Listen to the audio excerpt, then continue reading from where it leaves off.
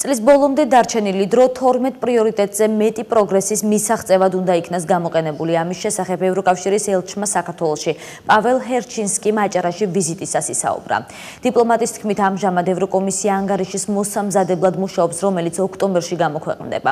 ჰერჩინსკის განცხადებით ამის შემდეგ ევროკავშირის წევრი 27 სახელმწიფოს ლიდერი უმაღლეს პოლიტიკურ დონეზე გადაწყვეტენ, რამ შემდგომი ნაბიჯები უნდა გადაიდგას საქართველოს ევროკავშირში გაწევრიანების განაცხადთან ამასთან დაკავშირებით. ევროკავშირის ელჩის თქმით, მისი პირადი აზრია, რომ საქართველოს კანდიდატის სტატუსი უნდა მიიღოს.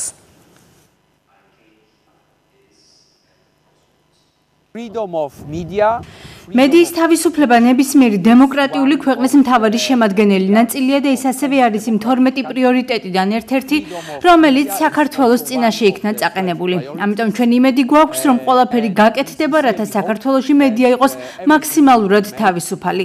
რაც შეეხება იმას, თუ რა უნდა გააკეთოს პრეზიდენტმა, ეს თავად პრეზიდენტის გადასაწყვეტია.